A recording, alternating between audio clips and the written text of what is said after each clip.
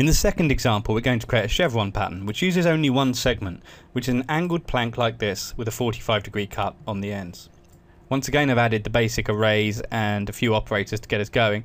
Um, since we've already covered the material and the spline in the previous tutorial, they're already here. Um, so first things first, let's add the plank to the material and then let's pick a spline from the scene. Now I just need to come into the array 2s and turn on extend xy size to area and then you see that's working. So we need this to zigzag um, so we can do that by basically mirroring this plank and piecing them together using a compose operator. So let's add a compose, replace that in the material input, put this plank into the first slot, and then a mirror.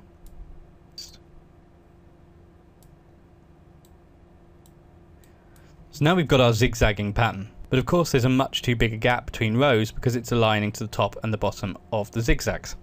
So what we need to do is just close that up. And that's very easy to do. We'll just come into the plank properties, um, come to general padding and change the top padding just to close them up.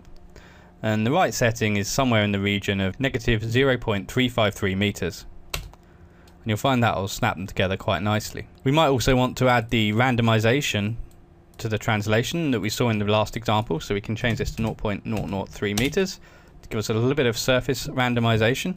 And um, and the other thing you're seeing now is a slight problem uh, because because of the zigzagging pattern and the diagonals touching the boundaries, we get these gaps at the bottom and the top. Railclone 2.1 has a new property that gets around this issue.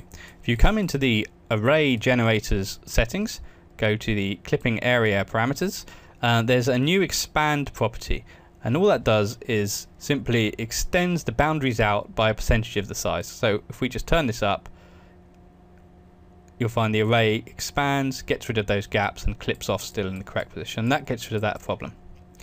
Just like before, we can change the rotation of this if we want to. So we could swing it round or somewhere in between. We've got a very flexible style. Assign it to our floor over here and hit render.